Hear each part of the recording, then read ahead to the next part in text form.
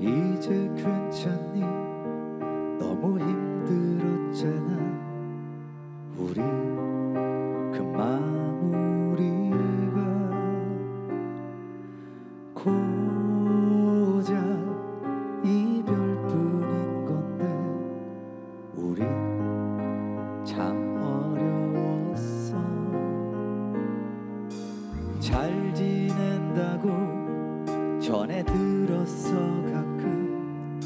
벌써 참 좋은 사람 만나 잘 지내고 있어. 굳이 내게 전하더라. 잘했어 넌 못 참았을 거야. 그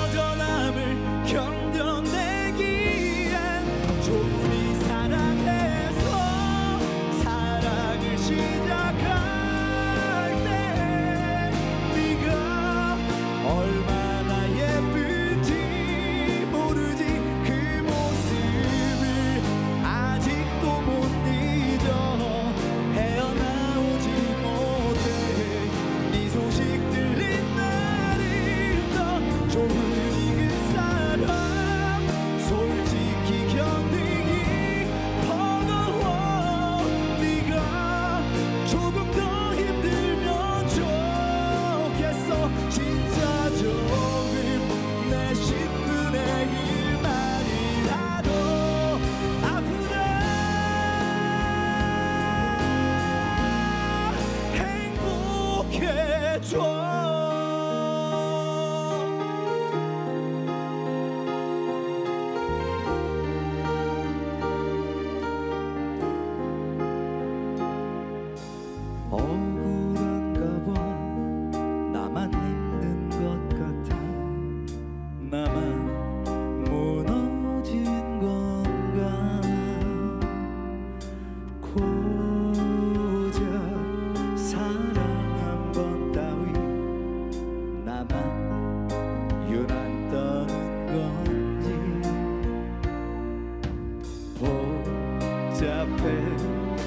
Adam